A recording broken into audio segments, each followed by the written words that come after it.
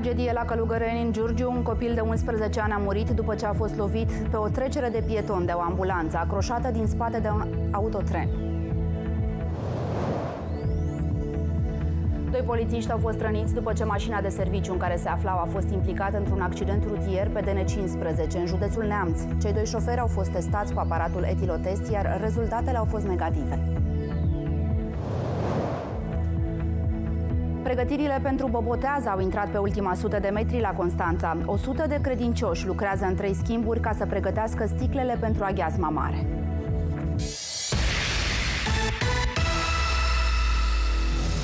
Irina Gologan vă prezintă Focus. Tragedie la Călugăreni în Giurgiu. Un copil de 11 ani a murit după ce a fost lovit pe o trecere de pieton de o ambulanță acroșată din spate de un autotren. Vă avertizăm că urmează detalii și imagini care vă pot afecta emoțional. Potrivit polițiștilor, un cetățean bulgar, în timp ce se deplasa cu un autotren pe direcția de mers București-Giurgiu, nu ar fi păstrat o distanță corespunzătoare față de o ambulanță și a intrat în aceasta. În urma impactului, mașina serviciului de urgență a fost proiectată pe trecerea de pietoni, unde a lovit un minor de 11 ani din localitatea Călugăreni, căruia îi acordase prioritate de trecere. Copilului i s-a făcut manevrele de resuscitare, însă fără rezultat. Acesta a fost declarat decedat. Tragedie și la Iași, unde o persoană a fost acroșată de un tren. Vă avertizăm că urmează imagini și informații care vă pot afecta emoțional. Un apel la 112 a anunțat cumplitul eveniment, iar echipajele medicale care au ajuns la locul accidentului au constatat decesul. Din primele informații oferite de anchetatori, bărbatul s-a apropiat nefiresc de mult de un tren care circula pe direcția Iași-Bacău. Acesta a fost lovit de tren și târât aproximativ 200 de metri. Anchetatorii încearcă să afle motivul pentru care bărbatul de 42 de ani din localitatea Miroslava a recurs la acest gest. Doi polițiști au fost răniți ieri seară după ce mașina de serviciu în care se aflau a fost implicată într-un accident rutier pe DN15 în județul Neamț. Cei doi se aflau în timpul serviciului și patrulau cu un autoturism inscripționat și echipat cu aparat radar. La un moment dat, polițiștii au întors mașina și au intrat în coliziune cu un alt autoturism condus de un tânăr de 21 de ani, care circula din sensul opus. Autospeciala avea pornite semnalele acustice și luminoase. La fața locului au intervenit o autospecială pentru descarcerare, una de stingere incendii și două ambulanțe smurt. Polițiștii au fost scoși din mașină de pompieri, iar ulterior au fost preluați și transportați de echipajele smurt la unitatea de primire urgențe Piatra Neamț. Imagini șocante au fost filmate pe autostradă din România. Un șofer a fost surprins în timp ce conducea cu viteză mare pe contrasens.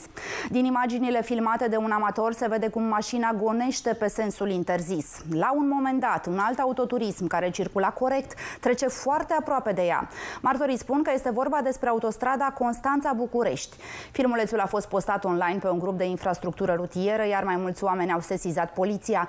În cele din urmă, șoferul a fost identificat. Bărbatul de 73 de ani a fost amendat cu 2900 de lei și a fost suspendat permisul.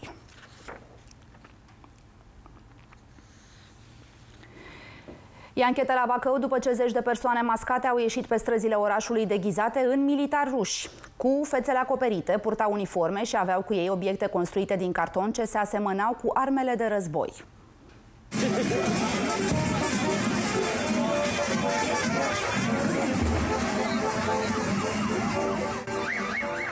Parada mascaților a devenit deja o tradiție ce are loc an de an, dar de această dată unii au ales varianta de război, iar imaginile au ajuns pe rețelele de socializare. Ambasada Ucrainei la București a reacționat imediat și a cerut explicații, mai ales că evenimentul a avut loc într-o zi în care armata de la Moscova a atacat masiv cu rachete Ucraina.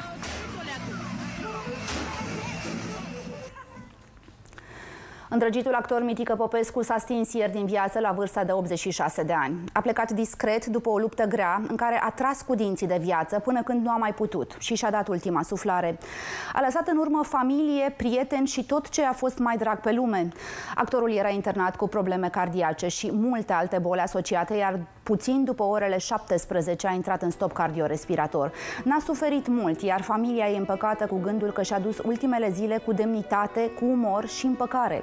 Cocoșilă, așa cum s-a consacrat în Moromeții, a plecat la Îngeri, acolo unde prea mulți colegi de breaslă îl așteaptă pentru un nou spectacol în cer. Colegii și prietenii săi deplâng moartea acestuia.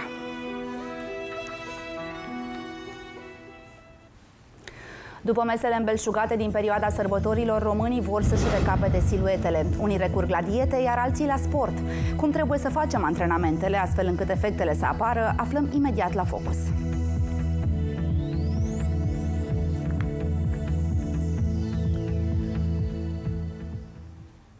Suntem foarte aproape de o epidemie de gripă. Numărul cazurilor crește rapid de la o săptămână la alta, la fel și cel al virozelor. Sezonul dificil cu îmbolnăviri pe bandă rulantă a dus și la o criză a medicamentelor. Se găsesc cu greu paracetamol, ibuprofen, siropuri împotriva tusei, dar și antiviralul Tamiflu. Ministrul Sănătății a anunțat însă că stocurile de medicamente bazate pe paracetamol și ibuprofen vor fi suplimentate astfel încât să poată fi găsite mai ușor. În contextul în care farmaciile au rafturile goale, Ministerul Sănătății Sănătății a publicat ieri seară pe site-ul instituției lista preparatelor comerciale pentru adulți și copii disponibile în România. Vorbim despre medicamente de tip antiinflamator, antiviral și antitermic. Lista poate fi consultată pe www.mse.ro.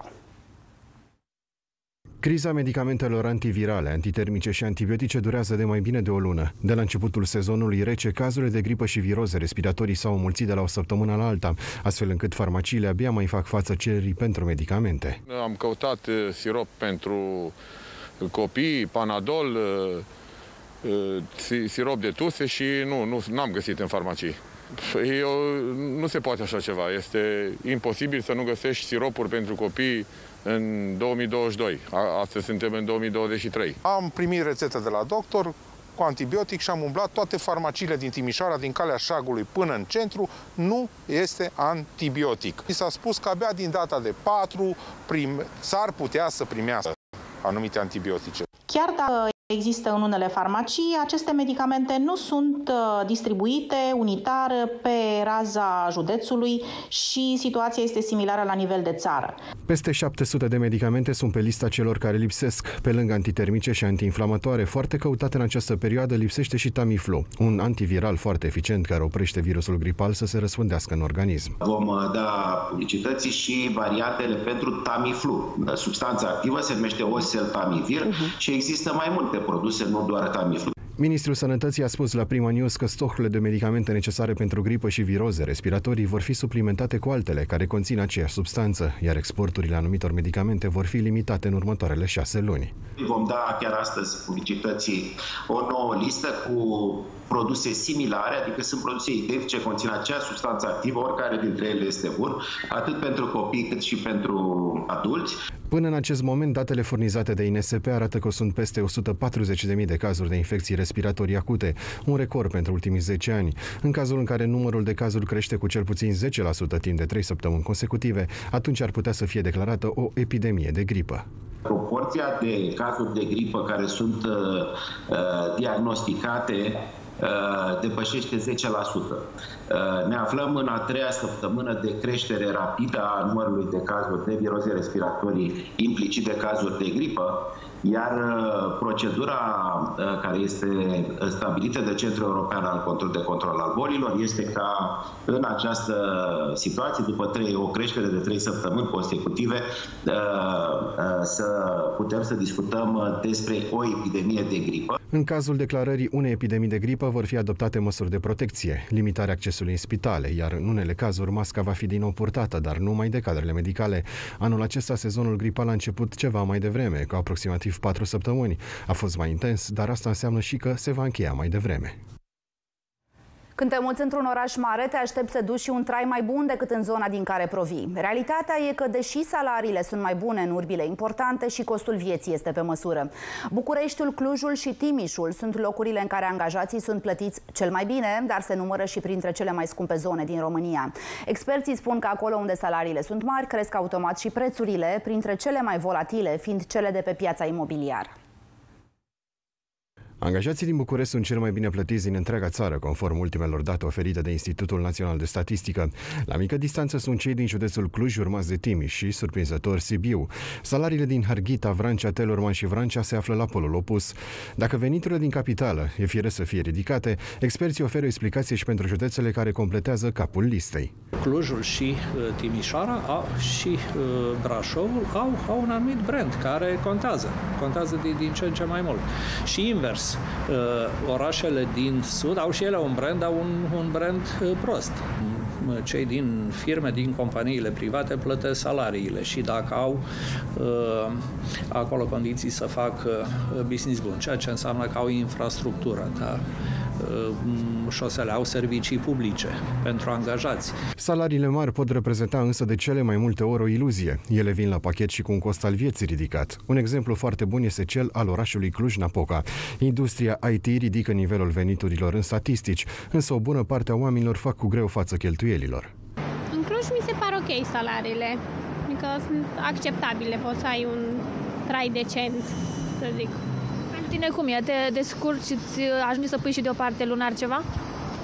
Să pun deoparte în momentul de față, nu. Vă descurcați de la unul la alta, va ajunge să puneți și deoparte ceva? Nu. Nu. Eu lucrez în IT și atunci e acceptabil. Nu pot să mă plâng atât de tare, dar oricum prețurile sunt mai mari decât în alte orașe din provincie. În capitalism și într-o economie de piață asta se reglează de la sine uh, și foarte, foarte repede. Deci, în termen de câteva săptămâni sau de câteva luni, orice dezechilibru se, uh, se atenuează. Financiar, una dintre grijile principale ale oamenilor este acoperișul de deasupra capului. De obicei, o bună parte a salariului se duce pe chirie sau rata la casă. Cei din domeniul imobiliar spun că prețurile sunt puternic influențate de puterea de cumpărare dintr-un oraș. Până la urmă, prețurile nu fac decât să reflecte acest raport dintre cerere și ofertă. Uh, nu putem avea prețuri ridicate în uh, lipsa unei cereri uh, ridicate pe piață. Pe, pe piața chiriilor, cred că vom asista la creșteri în, în orașele mari. Astfel, orașele în care salariile sunt cele mai mari sunt și printre cele mai scumpe. Primele două locuri sunt tot ale Bucureștiului și Clujului, în timp ce Timișoara este pe șase.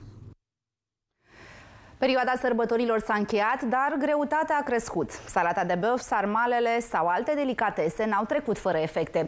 Acum urmează partea cea mai grea, eliminarea kilogramelor în plus. Sportul, spun cei care se pricep, ar trebui făcut însă cu măsură și, dacă se poate, sub supravegherea unui antrenor. Porcul moare, anul trece, chilele rămân. Mult e dulce sau bună și frumoasă burta de român. După mesele îmbelșugate de sărbători, sălile de fitness au fost locul în care s-au oprit mulți români, dar specialiștii atrag atenția că sportul făcut în exces ne poate aduce probleme serioase. Ideal ar fi să facem exerciții sub supravegherea antrenorilor și gradual. Creșterea intensității și a volumului uh, de antrenament trebuie să fie treptat, uh, mai ales în această perioadă când anumite persoane aleg să mănânce mai mult și mai prost doar pentru simplu fapt că a doua zi se vor antrena mai intens și ca exerciții recomand tip circuit, exerciții ce angrenează cât mai multe grupe musculare, pentru că aceste exerciții fac ca sângele să circule cât mai mult în organism.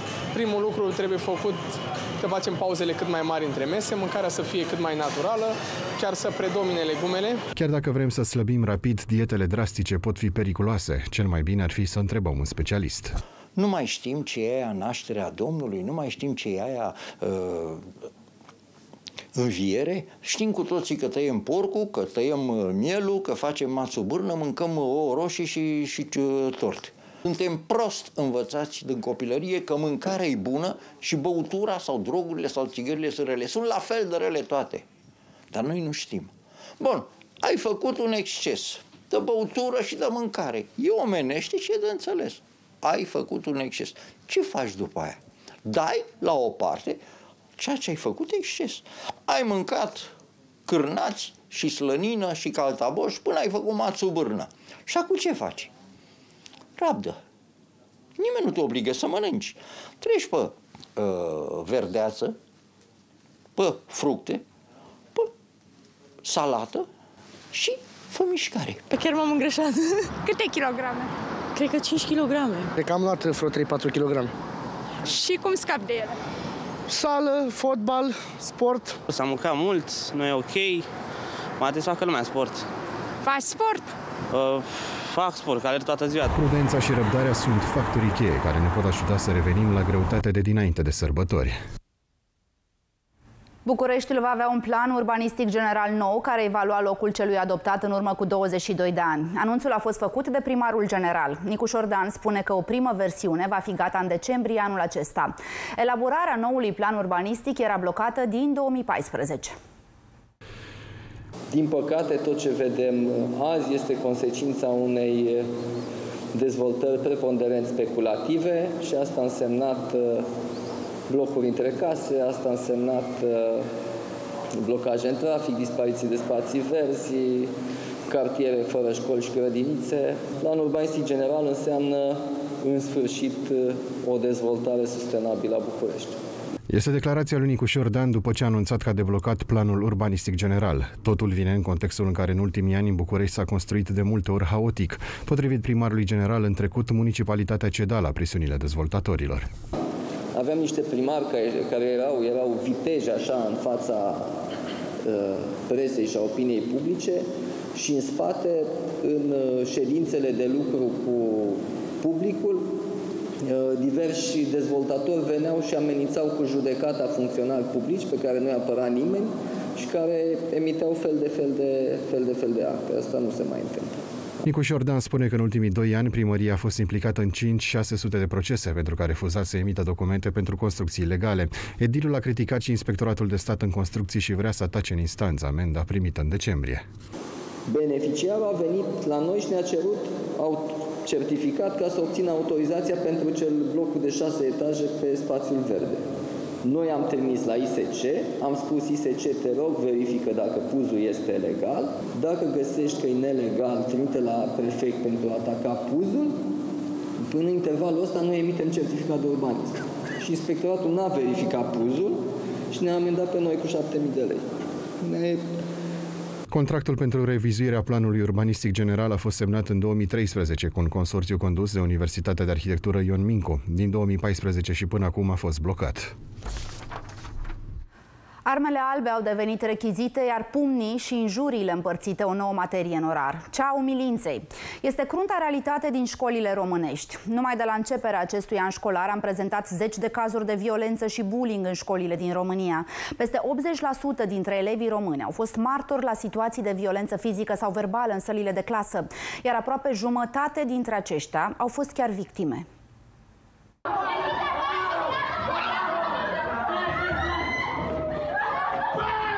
Acestea sunt doar câteva frânturi din momentele care au șocat o țară întreagă numai în ultimele luni. Astfel de evenimente au avut loc în școli din Târgu Mureș, Mehedinți, Galați, București, Ilfov, iar lista poate continua. Un studiu realizat de Salvați Copiii arată că în cele 10 minute de pauză, unul din patru elevi este victima bullyingului în școală. Cifrele sunt și mai îngrijorătoare. 73% dintre copii au fost martori a violenței sau a bullyingului în sala de clasă, iar 3 din 10 au fost amenințați amenințați cu bătaia. Un elev din patru a fost umilit în fața colegilor. Acest tip de cazuri arată încă o dată realitatea cruntă din sistemul educațional românesc. În ultimul deceniu au fost raportate peste 135.000 de agresiuni în clasă. Asta înseamnă undeva la 37 de cazuri în fiecare zi.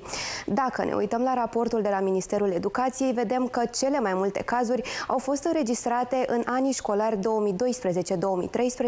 și 2013-2014, peste 20.000. O scădere a actelor de agresiune observăm în 2020-2021. Atunci au fost undeva la 2000. Însă acest lucru îl putem pune pe seama faptului că elevii au învățat mai mult în sistemul online. Bullying-ul este dificil de dedus și dacă ești adult cu atât mai mult cu cât ești copil, când nu ai uh, toate bazele de a te descurca și este greu de demonstrat. De cele mai multe ori bullying nu se petrece sub ochii adulților care pot gestiona situația sau pot tranșa uh, sau reglementa anumite situații. Se poate extinde în afara școlii, se poate extinde în mediul online cu ușurință, vorbim despre cyberbullying și atunci este important să ne uităm la ceea ce simte copilul și apoi la context. Din păcate există în anumite școli o tendință de a minimiza fenomenul ăsta și de a-l considera uh, ca fiind echivalent cu simple hârjoneli între copii. Nu e. Bullying-ul a devenit un fenomen mai uh, consistent în ultimii ani.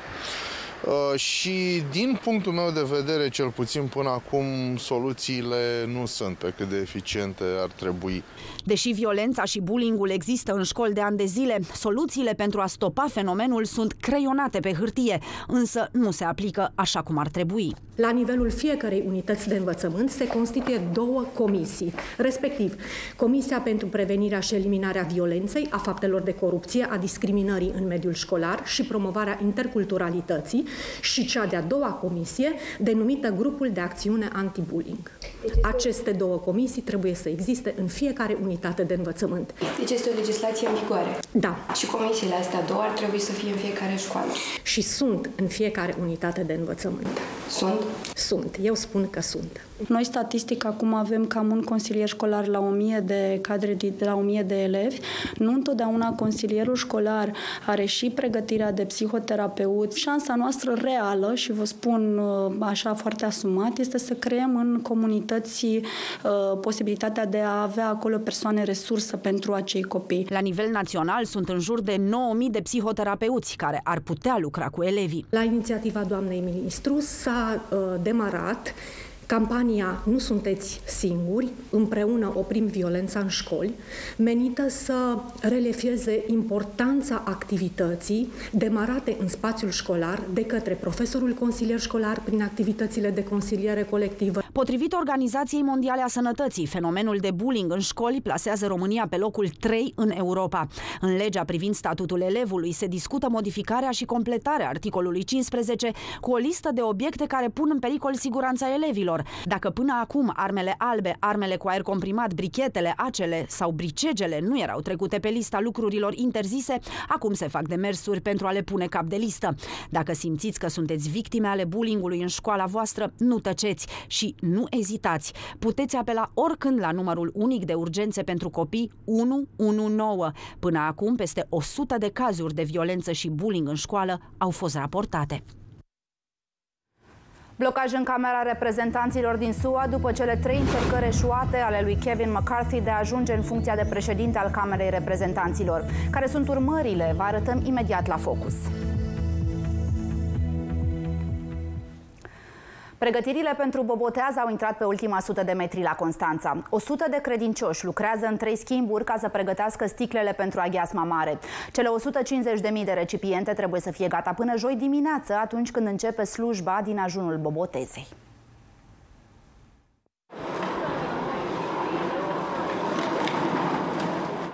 În fiecare an de bobotează zeci de mii de creștini se băteau pentru a obține apa sfințită, iar risipa de aghiazmă era foarte mare. Arhiepiscopul Tomisului Teodosie a venit cu ideea îmbutelierii aghiazmei în peturi mici de plastic, de jumătate de litru. 150 de mii de recipiente din plastic au fost fabricate special pentru a fi umplute cu apa sfințită, iar biserica a chemat pe noriași să le eticheteze. Eu vin de 23 de ani. Dacă nu vin, sunt bolnavă. Eu las tot baltă. Se apropie ziua soțului și ce pregătește de ziua de Sfântul Ioan, hai, stai acasă. Nu, nu, nu, întâi merg la etichete și după aceea vin. La mine a fost așa, o chemare, că eu nu eram în țară. Și o măicuță m-a spus, zice, a spus preasfinția sa să coborâm la etichetare. Și m-am pornit la drum. Pe fiecare sticluță este lipită o etichetă pe care scrie aghiazma mare și anul în care s-a sfințit apa. Mai mari bisericii spun că apa sfințită rezistă chiar și până la 20-30 de ani. Mai mulți preoți, studenți la teologie sau apropiați ai bisericii au venit încă de noaptea trecută să dea o mână de ajutor preoților de la Arhiepiscopia Tomisului. Vor fi în total 150.000 de sticle. Și ca să înțelegeți un ordin de mărime, imaginați-vă că aici sunt doar 5% dintre ele. Oamenii ăștia au delipit 3 zile continuu un munte întreg de plastic. Am venit, cred că pe la 11 am, ne-am apucat și am plecat la 5. Să știți că este primul an, m-a invitat o prietenă de-a mea. Nu știu cât pot să stau. Dar oricum, cred că până la ora 5 stau. Joi dimineața, în ajunul Bobotezei, Arhiepiscopia Tomisului va organiza slujba în fața catedralei. Atunci va fi sfințită apa, care mai apoi va fi îmbuteliată de către pompieri, jandarmi și voluntari pentru marea sărbătoare. Și să aibă credincioși în ziua de bobotează să ia apă sfințită. Atunci vom merge cu carele, cu boi și cu măgari la portul Tomis și acolo vom sfinți apa, vom sfinți și marea, Teodosie a anunțat că va fi primul an când nu se va mai urca pe cisternele regiei de apă ca să le sfințească și că se va rezuma doar la budanele uriașe a câte 10.000 de litri ce au fost deja aduse în fața Arhiepiscopiei. Anul acesta sunt așteptați să participe la bobotează peste 10.000 de oameni. S-a terminat vacanța, să vină vacanța. Dacă visați deja la zilele libere de Paște și de 1 mai, acum este cel mai bun moment să vă rezervați biletele. Companiile aeriene low cost încep promoțiile, astfel că pasionații de călătorii pot să găsească bilete de avion cu prețuri care încep și de la 10 euro pentru cele mai cunoscute destinații din Europa. Vești bune pentru cei care iubesc plimbările. Companiile aeriene low cost pregătesc oferte pentru vacanțe în marile capitale europene. Cele mai ieftine bilete de avion vor fi acum în primele luni ale anului, ianuarie, februarie și martie, când interesul pentru călătorii este mai redus. În prețuri cu până la 60% mai mici, asta înseamnă că putem să ne planificăm uh, mai multe uh, city break-uri sau vacanțe, inclusiv pentru vară. Se caută, de exemplu, destinații mai romantice. Deja se fac planificări pentru Valentine's Day, pentru 1 martie, sunt uh, cadourile pentru cupluri. Cu prețuri care încep de la 20 de euro, putem să călătorim de la București la Londra, Viena sau Milano în următoarea perioadă. Veneția este o altă destinație accesibilă, cu prețuri care încep de la 26 de euro, iar cu 30 de euro putem să călătorim în ianuarie sau februarie la Roma sau Bruxelles. În timpul pandemiei, din cauza restricțiilor impuse în toată lumea, oamenii au călătorit mai puțin, iar biletele de avion erau atunci foarte scumpe. Acum se revine la prețurile de dinainte. Înainte de pandemie, în 2020, uh, spre Bolonia, am luat un bilet cu 9,99 euro. Cred că a fost 10 lire dus întors pe Londra. Suceava, Milano, cu 10 euro, cred. Anul ăsta chiar, prin martie. Cel mai ieftin bilet de avion, uh, 20 de euro, București, Irlanda. Cele mai căutate în această perioadă rămân destinațiile populare, așa că este bine să ne facem planuri de călătorie din timp și să încercăm pe cât posibil să fim flexibili și să avem la noi cât mai puțin bagaj ca să găsim cele mai bune prețuri. Și în acest an ne așteptăm la o efervescență a călătorilor. Încă nu s-a terminat dorința de a călători după pandemie. Dacă suntem flexibili sau putem să lucrăm uh, remote uh, să ne luăm uh, plecări și sosiri în afara weekendurilor. Atunci vom găsi cele mai, în cele mai mici prețuri. O altă recomandare a specialiștilor este să căutați bilete de avion după miezul nopții sau dimineața de vreme, când nu sunt foarte mulți oameni conectați online. Un alt truc ca să nu vă crească prețul biletelor de avion din cauza căutorilor succesive pentru o destinație ar fi să accesați modul incognito. Îmi vreau tatăl și fratele înapoi, a mărturisit prințul Harry, care acum se simte trădat de propria familie. Detalii despre ultimul interviu al prințului aflați imediat la Focus.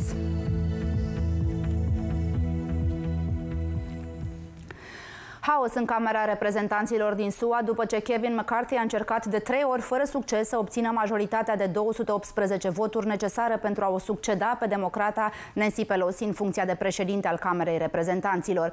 Este pentru prima dată într-un secol când Camera nu reușește să-și aleagă președintele încă de la primul vot. În lipsa unui președinte, activitatea Camerei Reprezentanților este blocată. Nici măcar noi membri aleși la jumătatea mandatului prezidențial nu pot depune jurământul. Blocajul lasă Camera în mare parte paralizată și ar putea forța pe legislator să ia în considerare un alt candidat. Liderul democraților din Camera Reprezentanților, Hakim Jeffries, l-a întrecut pe McCarthy de trei ori în votul de marți, obținând 212 voturi față de 203, respectiv 202, cât a obținut McCarthy.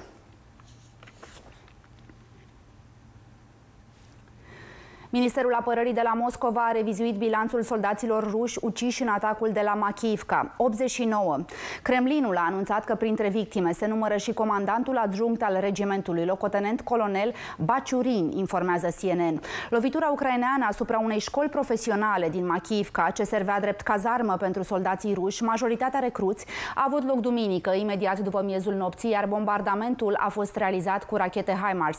Luni, într-un gest rar de recunoaștere a pierderii pierderilor, Ministerul Rus al Apărării declarase că 63 de militari au fost uciși la Machivka, dar bilanțul a fost pus la îndoială de blogării militari ruși.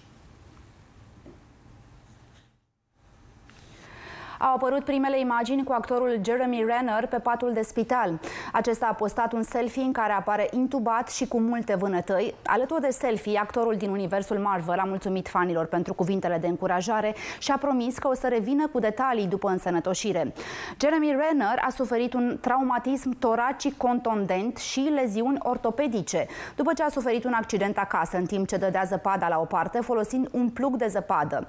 Actorul din Hawkeye a avut nevoie până acum de două intervenții chirurgicale. Fostul astronaut american Walter Cunningham, care în 1968 a zburat în spațiu la bordul misiunii Apollo 7, a murit marți, la vârsta de 90 de ani, a anunțat NASA. Cunningham era ultimul membru al echipajului misiunii Apollo 7 care mai rămăsese în viață. Acesta a participat la primul zbor de testare cu echipaj uman al noii navete spațiale Apollo, cea care în cele din urmă avea să ducă pe lună 12, 12 astronauți între 1969 și 1970. 2022. După ce a părăsit agenția spațială, Cunningham și-a asumat diverse roluri în sectorul privat. A ocupat mai multe funcții executive în cadrul unor companii de dezvoltare, a fost consultant pentru startup-uri, a devenit antreprenor și investitor și în cele din urmă a devenit prezentator de emisiuni radiofonice. Îmi vreau tatăl și fratele înapoi, a mărturisit prințul Harry, care acum se simte trădat de propria familie. Într-un nou interviu, înainte de lansarea cărții sale autobiografice, el va oferi detalii chiar și despre moartea mamei sale, prințesa Diana. Declarațiile vin după ce relațiile de familie au ajuns aproape inexistente, ca urmare a căsătoriei cu Meghan Markle. Interviul va aborda relațiile personale ale prințului Harry cu familia regală și va oferi detalii neștiute până acum despre moartea mamei sale Diana, prințesa de Wales. I would like to get my father back. I would like to have my brother back. They've shown absolutely no willingness to reconcile. They feel as though it's better to keep us somehow as the villains. I want a family, not an institution. În declarațiile făcute, Harry a susținut că a fost trădat de familia regală cu povești împotriva sa înainte de a se retrage din funcțiile regale. When we're being told for the last six years we can't put a statement out to protect you, but you do it for other members of the family, there becomes a point when silence is betrayal. Cele două posturi britanice de televiziune au difuzat doar câteva secvențe din interviuri. Acestea vor fi difuzate integral pe 8 ianuarie, cu două zile înainte de publicarea autobiografiei intitulată Rezervă. Interviurile cu Harry au fost filmate în casa din California, unde locuiește alături de Meghan și cei doi copii pe care i-au împreună. Craiova lui Rotaru are antrenor. Nagoya a fost prezentat oficial. Când pleacă oltenii în Antalya pentru cantonamentul de iarnă, aflăm în scurt timp la focus după publicitate, când vă arătăm și imagini spectaculoase cu zeci de animale sălbatice surprinse în habitatul lor natural din Munții Făgăraș.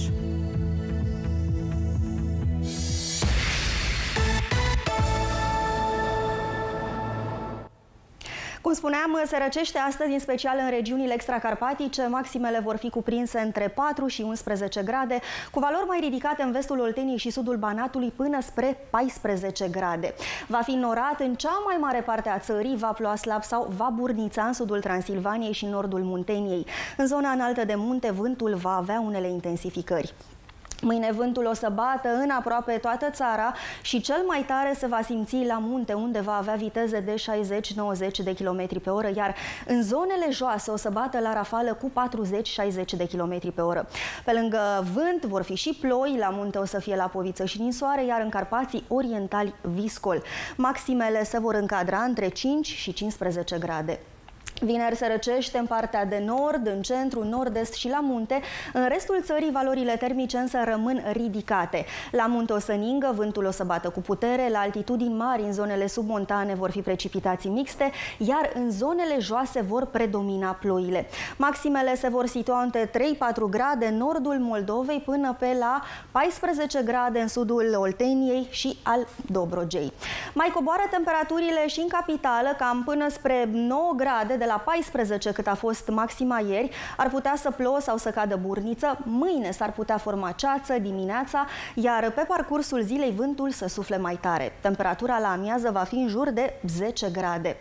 Ei bine, vineri rămâne cald în timpul zilei, dar noaptea se răcește simțitor. Maxima va ajunge până spre 13 grade, iar temperatura minimă ar putea fi negativă spre minus 1 grad. La munte se schimbă vremea și acolo, temperaturile scad față de zilele trecute, va ploua pe arii restrânse, dar numai pe creste vor fi precipitații mixte. Noaptea o să ningă în nordul Carpaților Oriental și local se va depune strat de zăpadă. Iar în zona înaltă de munte, vântul o să aibă rafale de peste 90-100 de km pe oră. Mă opresc aici cu informațiile despre vreme. Ne revedem la Focus 18.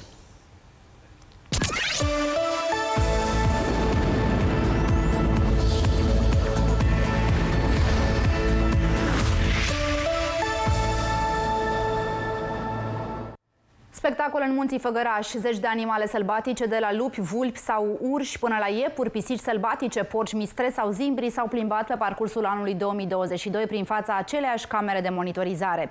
Cele 90 de secunde filmate de-a lungul a 365 de zile și publicate pe rețelele sociale de Fundația Conservation Carpathia surprind viața animalelor în mediul lor natural.